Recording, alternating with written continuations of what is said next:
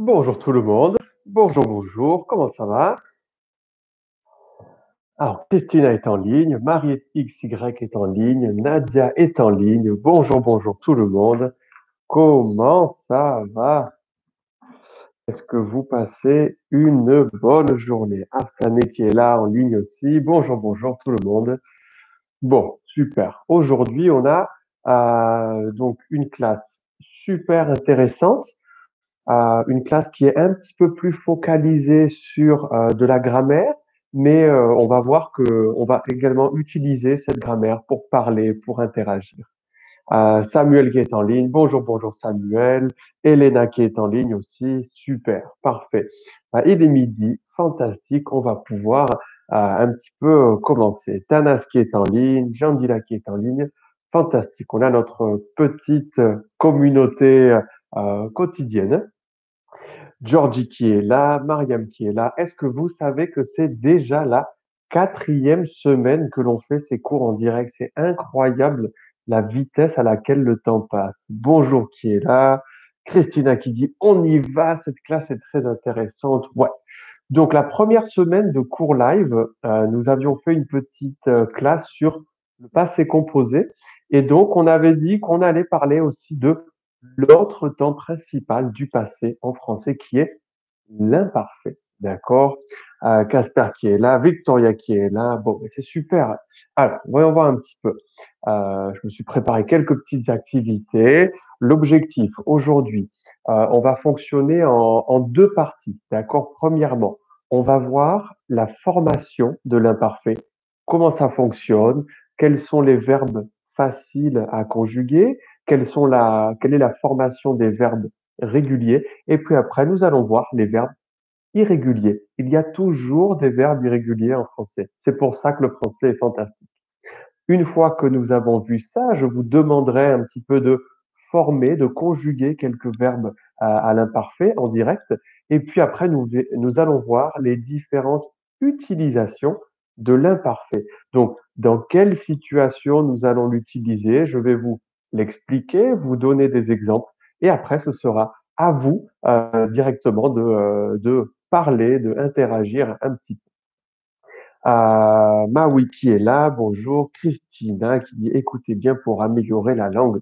Fantastique. Bien. Alors, on commence un petit peu. Donc, pour la formation de l'imparfait, première chose à voir. L'imparfait, c'est un temps du passé. D'accord? Donc, quand vous allez utiliser L'imparfait, c'est parce que vous êtes en train de parler au passé. Alors, il y a le passé composé, mais il y a également l'imparfait pour différentes euh, situations. Premièrement, les verbes qui sont très très faciles à former à l'imparfait, ce sont les verbes qui ont une terminaison en ER. Tout ça, vous l'avez écrit dans le chat hein, à côté. Euh, les verbes qui ont une terminaison en ER, ce sont les verbes qu'on a dit du premier groupe en français. Et alors les verbes du premier groupe, pardon, euh, ce sont les verbes comme aller, regarder, écouter, manger, etc., etc., etc., euh, parler, très bien. Tout ça, ce sont les verbes du premier groupe. Ces verbes sont très faciles à conjuguer à l'imparfait. Pourquoi?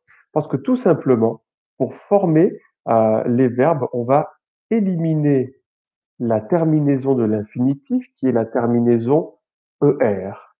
Et nous allons ajouter les terminaisons de l'imparfait. Si vous avez, euh, si vous étiez présent quand nous avons fait le cours sur le conditionnel, ce sont les mêmes terminaisons. Si vous n'étiez pas présent, c'est pas grave, ne vous inquiétez pas. On va réutiliser beaucoup les terminaisons et je vais vous les montrer tout de suite. Les terminaisons de l'imparfait. Alors, pour les personnes qui peut-être ne sont pas très euh, habituées euh, aux termes grammaticaux euh, français, dans un verbe, nous allons avoir un radical et des terminaisons. D'accord? Le radical, c'est la partie fixe du verbe. Les terminaisons, ce sont la finition du verbe en fonction de la personne qui parle. Je, tu, il, elle, etc., etc. Alors les terminaisons euh, du, euh, euh, Afsané qui dit aller, ce n'est pas un verbe du troisième groupe. Il a une terminaison en ER, donc c'est un verbe du premier groupe, mais qui est irrégulier. Euh, Ramon qui est là. Bonjour Ramon, comment ça va?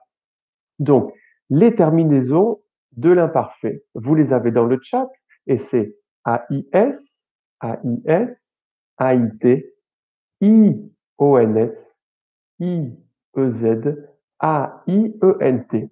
Alors attention à la prononciation. Les terminaisons, euh, les trois premières terminaisons euh, du singulier plus la troisième personne du pluriel ont la même prononciation. Et, d'accord? Donc, A-I-S, vous prononcez et. A-I-T, vous prononcez et. A-I-E-N-T, vous prononcez et. D'accord C'est très très simple. Euh, Karima qui est en ligne, qui dit bonjour, bonjour, comment allez-vous? Je vais très très bien. J'espère que vous aussi, vous allez très bien. Donc, on élimine la terminaison en ER et on ajoute les terminaisons de l'imparfait. Par exemple, le verbe aller, vous éliminez donc euh, la terminaison en ER, ça vous donne al. Tiens, Fina qui est là. Bonjour Fina, comment ça va?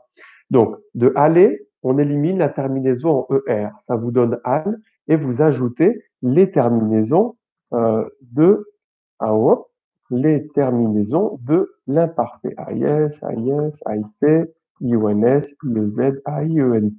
Et donc, ça va vous donner cette conjugaison.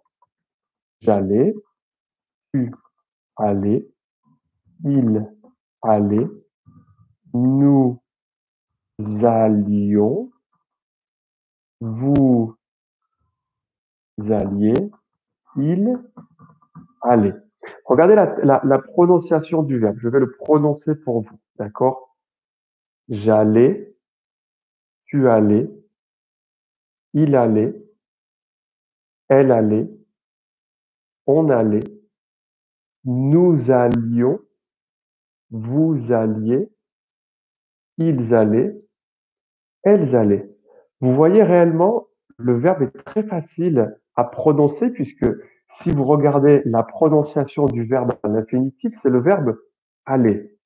Et la prononciation à l'oral à l'imparfait est j'allais, tu allais, il allait, nous allions, vous alliez, ils allaient. Réellement, vous avez trois prononciations différentes.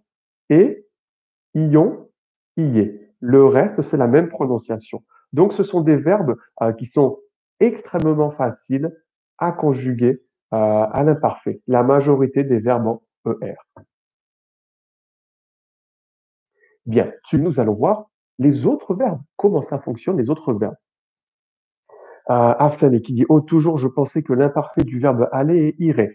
Non, attention, irait, ça existe, hein, il n'y a pas de problème, mais on va l'utiliser, euh, la, la, formule que vous utilisez, c'est la formule pour le futur ou pour le conditionnel, d'accord? Au futur ou au conditionnel, le verbe aller, il a un radical en, en IR. D'accord? Donc, pour être sûr de bien conjuguer les verbes à l'imparfait, vous devez les connaître au présent.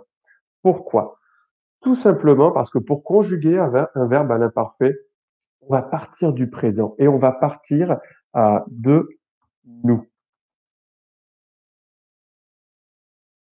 On va conjuguer le verbe avec nous au présent. Par exemple, le verbe faire au présent avec nous. Ça donne, ça donne, ça donne. Je vous écoute, je vous entends pas. Nous faisons. Ok, super. Donc, on part du présent du verbe faire avec nous. Nous faisons. On va éliminer le, la terminaison ONS. On va l'éliminer, d'accord? Et on va ajouter les terminaisons de l'imparfait. Ça va donc nous donner FES plus AIS, AIS, AIT, IONS, IEZ, AIENT. D'accord? Euh, Donc, si vous regardez dans le chat, vous voyez le verbe faire. Nous faisons, on élimine ONS, on conserve le radical F, A, I, S et on ajoute les terminaisons. Et donc, ça va euh, nous donner les terminaisons suivantes. Je vous les mets dans le chat et après je les prononce. Hein. Euh, ne vous inquiétez pas. Euh, tiens, Charam qui disait quand j'avais 45 ans, j'étais en Iran. C'est une excellente utilisation de l'imparfait, je vous félicite. Donc le verbe faire à l'imparfait, je faisais, tu faisais, il faisait, nous faisions, vous faisiez, il faisait.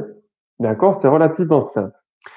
Il n'y a personne qui m'a écrit encore dans le chat la conjugaison du verbe écouter à l'imparfait avec je, nous et ils. J'attends nos réponses. Ah, Tanas qui vient d'écrire, qui dit nous faisions. C'est très très bien écrit. Mais essayez d'abord pour commencer de me conjuguer le verbe écouter. Écouter avec je, avec nous et avec ils, la troisième personne du pluriel. Après, on fera des verbes plus compliqués, il n'y a pas de problème. Euh, vous inquiétez pas, on va faire beaucoup, beaucoup de choses plus compliquées. Euh, et donc, cette, euh, cette formule, ça fonctionne pour la quasi-totalité des verbes euh, en français à l'imparfait. On prend le verbe, on le conjugue au présent avec nous, on élimine ONS et on ajoute les terminaisons AIS, AIS, AIT, IONS, IEZ, AIENT. C'est très très simple. L'imparfait, c'est un temps qui est très très simple à, à conjuguer si vous connaissez les verbes au présent. Et c'est un temps qui est très facile parce que la quasi-totalité des verbes sont réguliers. Sarah qui dit J'écoutais. Ok, super. Première très bonne réponse. Attention, euh, ici, vous, pardon, excusez-moi, j'écris en majuscule. Euh, vous devez avoir J apostrophe et vous devez avoir l'accent sur le E. J'écoutais. Super, comme ça. Merci beaucoup, Sarah. C'est très gentil d'avoir euh, écrit correctement le verbe. Continuez les autres. Vous pouvez le conjuguer avec nous, avec ils. Marie XY qui dit faisons, nous prononçons avec eux et. On prononce avec eux. C'est une particularité de la langue française. On dit je fais et fait, fait, fait, mais, nous, mais on dit nous faisons. C'est une exception, d'accord? C'est pour que ce soit plus facile à prononcer. Donc, je fais, tu fais, il fait au présent, nous faisons. Et donc, à l'imparfait, on va conserver ce feu. Je faisais, tu faisais, il faisait, nous faisions, vous faisiez, il faisait. Euh, qui a, Rossio, elle a conjugué tout le verbe. J'écoutais, tu écoutais, il écoutait, nous écoutions, vous écoutiez, ils écoutaient. C'est de l'excellent travail. Charam qui dit? Quand j'étais jeune, je faisais beaucoup de sport. C'est euh, une excellente phrase, je vous félicite. Sarah qui dit, nous écoutions, ok, attention Sarah, ah, peut-être que vous n'avez pas les accents sur votre, euh, peut-être que vous n'avez pas les accents sur votre ordinateur. Nous écoutions. Tanat qui dit, j'écoutais, nous écoutions, ils écoutaient. Fantastique. Bravo tout le monde, c'est de l'excellent travail. Bien, donc, nous avons vu les verbes en ER, les verbes du premier groupe qui sont ridiculeusement faciles à conjuguer à l'imparfait. Et nous venons de voir les autres verbes, les verbes réguliers, où on prend nous en français, on conjugue le verbe, on élimine ONS et on ajoute les terminaisons. Donne un exemple. Est-ce que vous êtes capable de me conjuguer le verbe prendre avec tu, il et vous à l'imparfait. Donc attention, ici, le verbe prendre, vous devez d'abord passer par la conjugaison nous au présent et ajouter les terminaisons de l'imparfait. Essayez de le conjuguer uniquement avec tu, il et vous. Charam qui nous dit je comprenais, tu comprenais, il comprenait, nous comprenions, vous compreniez, il comprenait. C'est une excellente euh, conjugaison du verbe prendre. Donc, maintenant, comme vous avez fait le verbe euh, écouter, essayez de conjuguer le verbe à l'imparfait. Si le verbe prendre, c'est trop difficile, essayez de conjuguer le verbe venir à l'imparfait avec je, nous, ils. D'accord Avec je, nous et la troisième personne euh, du pluriel, d'accord Comme je vous répète, c'est pas une activité de rapidité, faites ça très tranquillement. C'est pour euh, voir un peu comment je peux vous aider. Euh, tiens, Christina qui dit quand j'étais petite, je jouais avec mes frères. C'est une excellente phrase à l'imparfait, c'est très très bien. Raquel qui nous dit tu prenais, il prenait, vous preniez. Excellente réponse. Félicitations. Sarah qui dit je prenais. Attention Sarah, vous devez mettre uniquement un N. Pourquoi? En français, le verbe prendre, au présent, c'est nous prenons avec un seul N. Donc je prenais, tiens, qui écrit je prenais, tu prenais, il prenait, nous prenions, vous preniez, il prenait. Attention, le dernier, c'est avec N. Il prenait. D'accord Il prenait, Absana. Rossi qui dit je venais, nous venons, il venait. Attention, avec nous, nous venions. Nous venions avec le i. Vous avez la terminaison i-o-n-s. Bien, super, parfait, excellent travail. Vous pouvez continuer à écrire et je vous fais un petit peu la correction euh, du verbe prendre ou du verbe venir à l'imparfait. Tiens, Tanas qui écrit je prenais, nous prenions, il prenait. Magnifique, c'est de l'excellent travail. Félicitations tout le monde. Bien, alors, maintenant pour terminer un peu sur le thème de la formation des verbes, nous allons voir les verbes irréguliers. Et vous allez voir que pour cette raison, l'imparfait, c'est un temps qui est magnifique, qui est incroyable, qui est très gratifiant pour les élèves, puisque en français, il y a un seul verbe irrégulier à l'imparfait.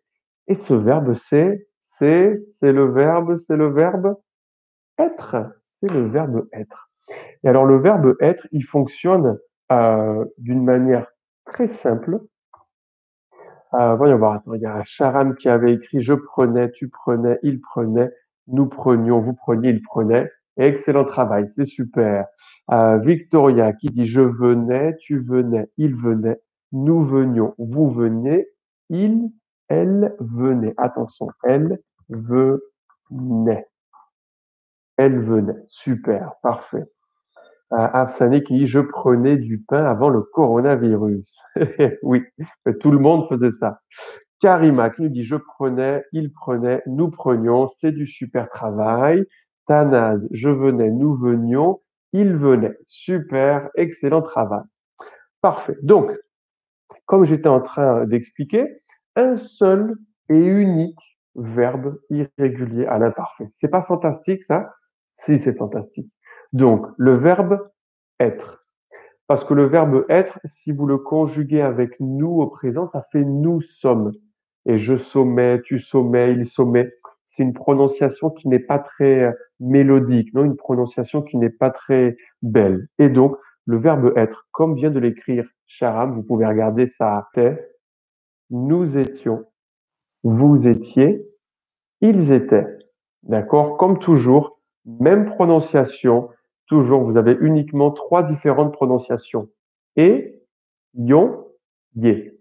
J'étais, nous étions, vous étiez. C'est très très simple. Ali qui dit bonjour, bonjour, bonjour, comment ça va? Elle dit quand j'étais petite, j'allais à l'école.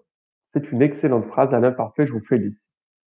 Bien, et donc, comme je vois que vous êtes très motivés pour parler tous à l'imparfait et que nous avons globalement vu comment fonctionne la formation des verbes à l'imparfait, nous allons voir maintenant leur utilisation. Alors, tout simplement, en français, on va utiliser l'imparfait pour exprimer un souvenir. Euh, tiens, par exemple, euh, voyons voir un petit peu Marisol qui dit j'étais, tu étais, il était, nous étions, vous étiez, ils étaient. Super travail. Euh, Simply Smiley qui dit bonjour Prof et bonjour à tous. Bonjour, bonjour. Comment ça va depuis les Philippines? J'espère que ça va très très bien. Euh, qui nous dit j'étais, nous étions, ils étaient. Fantastique. Afsané, quand j'étais un enfant, je ne connaissais pas le français. Mais je vous félicite parce que maintenant vous avez fait des phrases qui sont parfaites. Euh, Charam qui dit j'avais, tu avais, il avait, nous avions, vous aviez, ils avaient. Aujourd'hui, Charam, il est en mode conjugueur de tous les verbes. Mais c'est fantastique. Il fait des très bonnes conjugaisons. Si vous voulez regarder ses commentaires euh, dans le chat, vous verrez euh, toutes les différentes conjugaisons de verbes.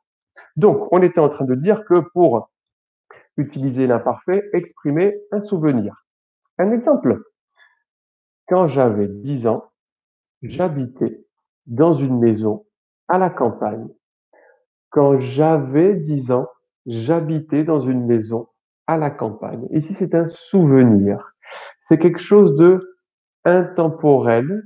C'est dans le passé, mais ce n'est pas terminé. Il n'y a pas de début, il n'y a pas de fin.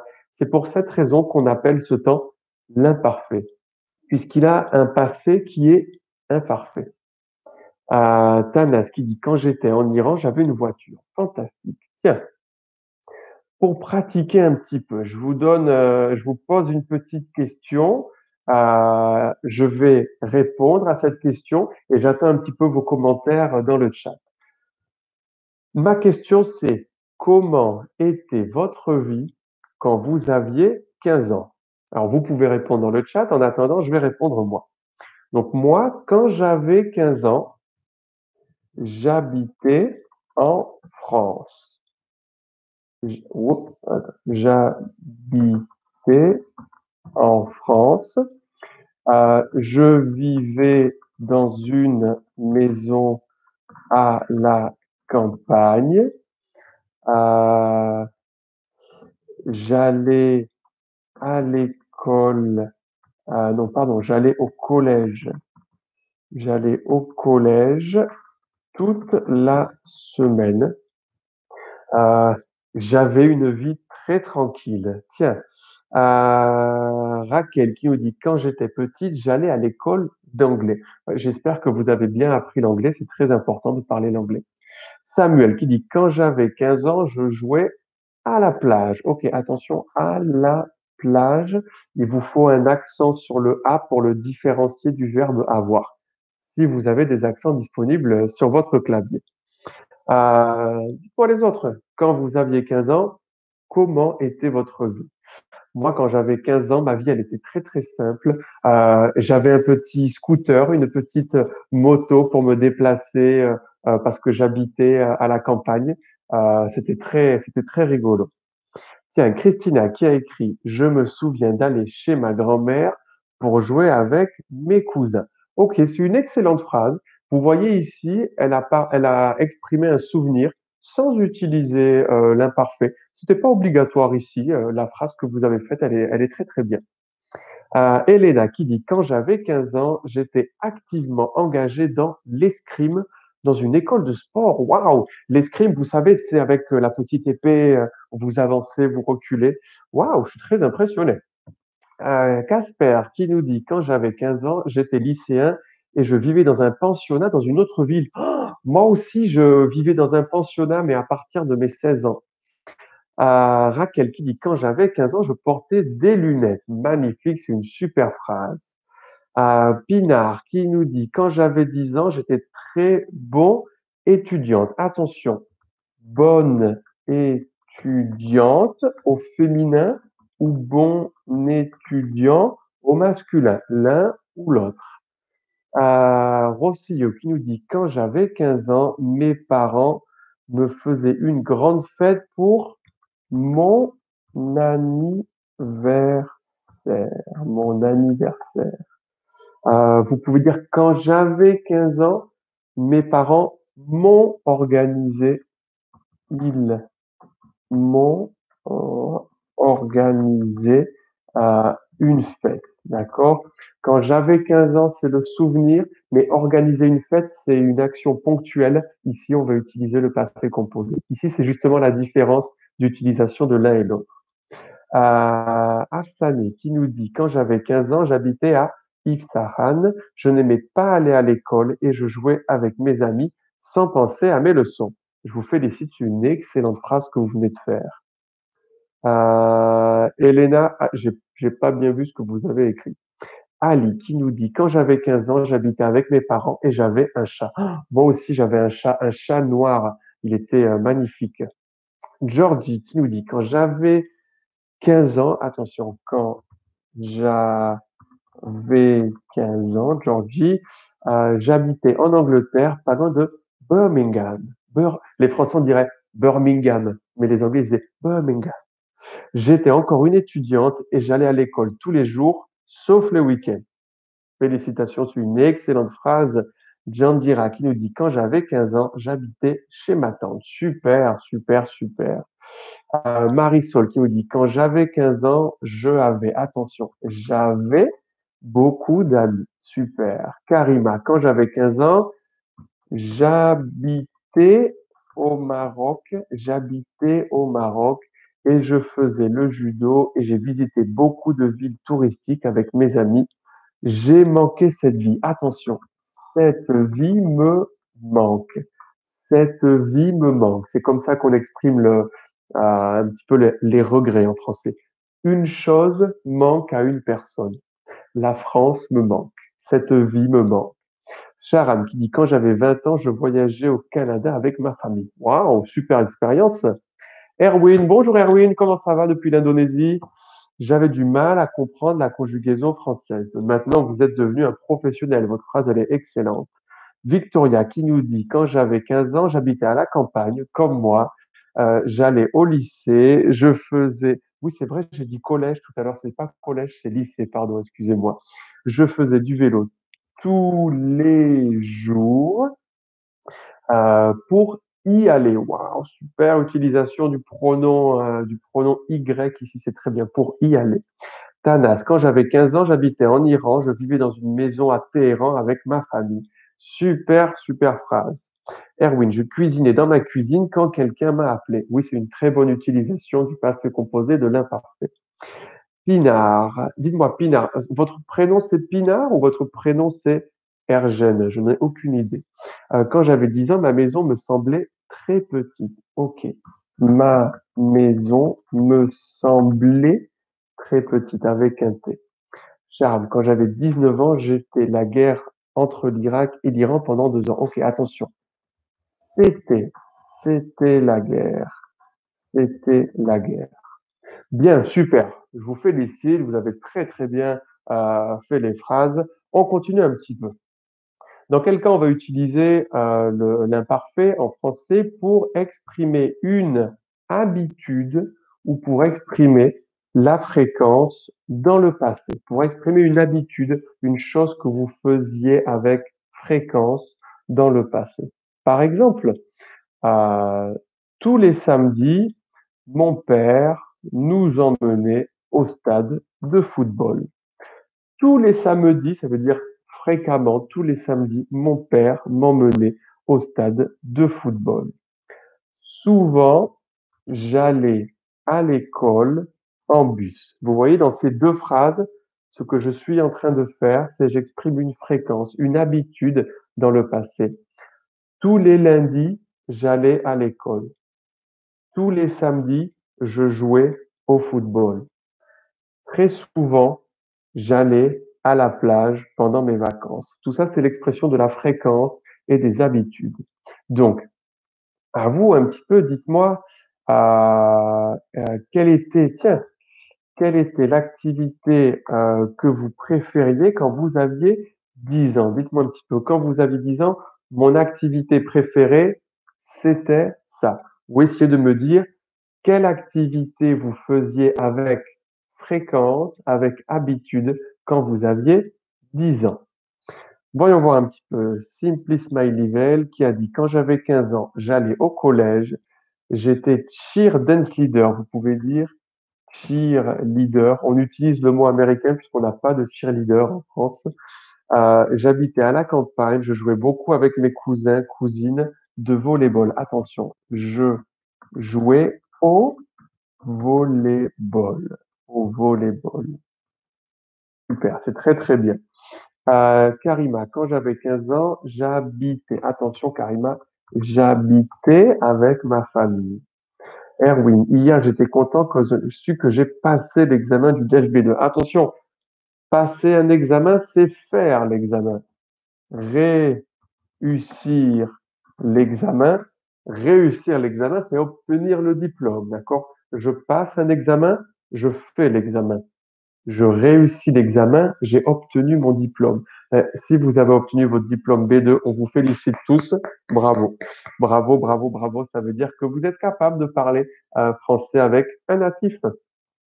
Euh, Charam, je participais la guerre entre l'Irak et l'Iran pendant deux ans. Attention ici, vous devez dire j'ai participé. Parce que en français, quand on utilise pendant, en général, on va toujours utiliser euh, le passé composé parce que c'est une période bien délimitée. C'est une période ponctuelle. Il y a un début et une fin. Pendant deux ans, ça veut dire du moment zéro au moment deux ans. Donc ici, passé composé. Euh, tiens, voyons voir un petit peu. Victoria qui nous dit tous les jours, je déjeunais avec ma famille. Super. Christina, mon activité préférée était danser. Attention, mon activité était danser. Ok, mon activité était danser. Euh, Ali qui nous dit quand j'avais 10 ans, j'allais tous les mardis tous les mardis avec un S, attention, au cours de bal. Erwin qui dit merci, non, non, c'est moi qui vous félicite, c'est très très bien. Euh, je vous félicite depuis euh, euh depuis euh, ma, ma petite ville de Séville, c'est très très bien d'avoir le B2. Tiens, Victoria qui dit à ce temps-là, j'aimais lire les histoires d'Elching. Ah, vous pouvez dire plutôt que à ce temps-là, à cette époque, à cette époque, j'aimais lire les histoires. Aussi, quand j'avais 10 ans, je commençais au, je commençais le basketball. Je commençais le basketball. Euh, voyons voir un petit peu. Elena, qui a écrit Quand j'avais 10 ans, j'ai consacré beaucoup de temps au dessin. Je vous félicite sur une excellente phrase que vous venez de faire. Ah, et tous les jours, je regardais vos vidéos sur YouTube et j'utilisais de votre méthode pour enseigner à mes élèves. Ah ben écoutez, c'est très gentil d'utiliser ma méthode. J'utilisais de votre méthode, donc j'utilisais votre méthode. Ah d'ailleurs, s'il y a des profs de français sur la chaîne, euh, quand j'aurai un petit peu plus de temps, parce que là je suis très occupé, mais euh, je vais faire des vidéos aussi pour les professeurs de français, euh, pour vous aider un petit peu à faire parler vos élèves, euh, en cours pour euh, vous aider à évaluer vos élèves, pour euh, vous aider à organiser votre classe, d'avoir plein d'activités. Mais tout ça, ce sera fait un petit peu quand j'aurai la, la, prochaine web préparée. Mais il y aura plein d'activités pour les professeurs, il y aura des formations disponibles aussi. On va organiser plein, plein de choses. Euh, Georgie qui dit l'activité que je préférais quand j'avais 10 ans, c'était de passer du temps avec mes amis. C'était possible quand nous étions jeunes d'avoir beaucoup d'idées pour créer des jeux intéressant. C'est une excellente phrase. Attention, des jeux intéressants. Super. Casper qui nous dit quand j'avais 10 ans, j'allais dans les animaleries presque tous les jours et j'observais divers animaux, principalement des poissons d'aquarium. Super. Simply Smiley Quand j'étais 10 ans, non. Si vous dites quand j'étais 10 ans, c'est un anglicisme parce que les Anglais disent when I was 10 years old. Mais les Français ont dit quand j'avais, c'est le verbe avoir. Quand j'avais 10 ans, tous les jours, j'allais à l'école et ensuite, après l'école, j'aidais, j'aidais ma famille à cultiver nos rizières. J'aidais à cultiver nos rizières. Raquel, quand j'avais 10 ans, je mangeais souvent dans la terrasse pendant l'été. Ok, la terrasse, super. Sarah qui dit Ma mère était heureuse quand j'allais à l'école pour la première fois. J'imagine. Samuel, quand j'avais 10 ans, je jouais du saxophone à l'école. Waouh, je suis super impressionné du saxophone. J'adorerais savoir jouer un instrument de musique. Je suis incapable de jouer d'un instrument de musique. Pourtant, j'adore la musique. Euh, Karima, quand j'avais 10 ans, tous les dimanches, je faisais, je faisais de la peinture. C'est très très bien. Attention, je faire de la peinture. Mariam, quand j'avais 10 ans, je jouais ma flûte avec un groupe de jazz. Je jouais pareil, je jouais de ma flûte avec un groupe de jazz. Euh, qui dit quand j'avais 10 ans, je jouais du piano. Attention tout le monde, hein, vous avez vu le verbe jouer. Si c'est masculin, jouer du piano. Si c'est féminin, jouer de la guitare. jouer du saxophone, jouer de la flûte. Euh, Marie, à cette époque, je rêvais, ok, je rêvais d'être, je rêvais d'être docteur. Je rêvais d'être docteur. Quand j'avais 10 ans, tous les dimanches, je faisais des cours pour ma grand-mère. Super, parfait. Christina, je me souviens que je pensais aller à l'école pour apprendre le français. Ben, vous avez réussi finalement à apprendre euh, le français. Euh, tiens, petite dernière euh, chose avant qu'on termine. Le l'imparfait, on va l'utiliser aussi pour euh, faire un commentaire. Alors, qu'est-ce que c'est un commentaire? Un commentaire, c'est quand vous donnez euh, une opinion. Une opinion, par exemple, sur un événement passé. Je vous donne un exemple. Euh, hier, je suis allé à un concert. Hier, je suis allé à un concert. C'était super. Vous voyez ici, j'utilise l'imparfait. Normalement, on devrait utiliser le passé composé. On devrait dire ça a été super. Mais qu'est-ce que c'est le problème? Le problème, c'est que dire ça a été super ou ça a été nul, c'est très compliqué à parler. Donc, ici, les Français ont fait une de conjugaison, on provoque une faute de grammaire pour avoir une prononciation plus dynamique, plus rapide, plus phonétique. Et on dit hier, c'était super.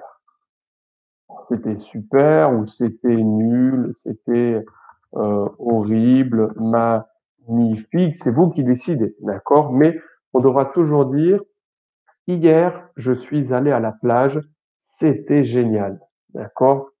Tiens, Simply Smiley qui a écrit merci beaucoup, prof, je ne peux pas rester longtemps parce que j'avais cuisiné. Si vous devez cuisiner, il n'y a pas de problème. On vous souhaite une excellente journée et on vous dit à demain. Euh, bonne prononciation de mon nom, félicitations. Ah ben écoutez, je suis très content. Euh, merci beaucoup parce qu'en général, c'est très compliqué. Victoria qui me dit ce, ce qui me donne des problèmes, c'est l'utilisation du passé composé avec l'imparfait et le plus que parfait ce sera possible de faire un petit cours sur l'emploi de ces trois conjugaisons. Oui, bien sûr, il faudra qu'on voit un petit peu le plus que parfait avant. On pourra se faire un autre cours euh, sur imparfait et euh, passé composé, la même utilisation euh, pour vous aider un petit peu à, à le voir. Il n'y a, a pas de problème. Bonne journée à tous. Bonne journée. Ciao, ciao, Simply. Afsane qui dit hier, j'ai participé dans votre cours en ligne sur le sujet de consommation. C'était super formidable. J'ai participé j'ai participé à votre cours sur le sujet euh, de la consommation. C'était super formidable. Vous pouvez dire où c'était super, ou c'était formidable. Euh, bien, génial. Alors, tout le monde, avant qu'on termine, est-ce que vous pouvez me dire quel est le dernier événement culturel auquel vous avez participé et comment c'était? Est-ce que c'était bien? Est-ce que c'était nul? Est-ce que c'était super? D'accord? Par exemple, est-ce que vous êtes allé au théâtre? Est-ce que vous êtes allé au cinéma? Est-ce que vous êtes allé voir une exposition? Euh, Est-ce que vous avez vu un film? Est-ce que vous avez participé à quelque chose? Et comment c'était? D'accord? C'est ça ma question. Comment c'était? Ramon qui dit au revoir. On n'a pas encore terminé. Je vous donne une petite minute. Dites-moi un petit peu à quel événement vous avez participé et comment c'était. J'attends vos réponses. Comment c'était À quel événement vous avez participé et comment c'était euh, dernier événement que j'ai participé, moi, ben, actuellement, c'était euh, un petit euh, un petit festival de musique à l'extérieur de Séville. C'était super. on a on a beaucoup beaucoup beaucoup beaucoup rigolé. Mariam qui dit ce matin j'ai mangé du chocolat et c'était super. J'accepte. Manger du chocolat, Georgie, elle me comprendra, c'est une activité qui est super. Euh, voyons voir un petit peu. Ali qui nous dit le mois dernier, je suis allé au concert de Billy Joel. Waouh, avec mon père, c'était magnifique. Super, attention, je suis allé au concert. Je suis allé au concert euh, de Billy Joel. C'était magnifique. Super, parfait. Vous pouvez continuer un petit peu à, à écrire. Euh, qui dit quand je voyais la tour Eiffel, c'était la nuit. Attention, quand j'ai vu la tour Eiffel, c'était la nuit. Super. Casper qui dit Je suis allé au concert d'un célèbre contre-ténor. C'était un peu décevant car il sonnait mieux sur les disques. Euh, sonner ici, c'est ou un hispanisme ou un anglicisme. Vous pouvez dire il chantait mieux, tout simplement.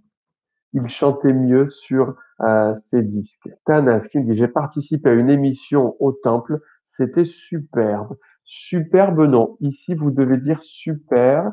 Euh, ou vous dire c'était une émission, une émission superbe. D'accord? C'était une émission superbe. Christina, je participais dans une école de participation. Je participais dans une école de participation, c'est très redondant. Euh, c'était magnifique. Attention, c'était avec un T, c'était magnifique. Ok.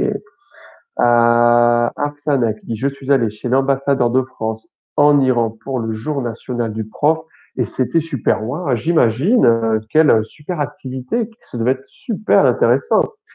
Jean dira, le mois dernier, je suis allé au cinéma et c'est super. Attention, je suis allé au ciné, c'était super. Super. C'était super. Euh, Raquel dit, je suis allé au musée de Van Gogh. C'était très intéressant. J'imagine. Victoria qui dit, le dernier événement où je suis allé, attention, le dernier, dernier événement où je suis allé euh, a été le concert euh, à l'école de mon fils aîné. C'est a été très sympa. Ils ont trois ans. Waouh, ils sont tout petits. Attention. Rappelez-vous toujours, ça était non. C'était, c'était. Et vous prononcez comme ça. C'était, c'était. Comme si vous c'était, c'était. Euh, Elena qui dit hier j'ai fait un gâteau aux bananes sucrées avec des bananes et c'était super, j'imagine. Victoria, pardon, à l'école de mon fils, pas de problème, j'avais compris. Sharam qui dit quand j'ai visité le musée du Louvre, c'était extraordinaire.